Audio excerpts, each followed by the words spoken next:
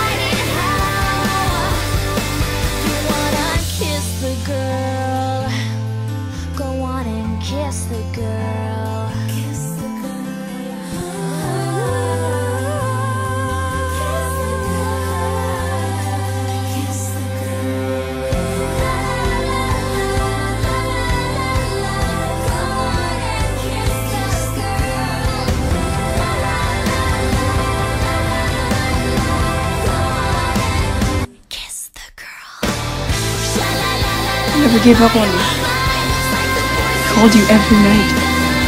Every night for 353 days. I heard.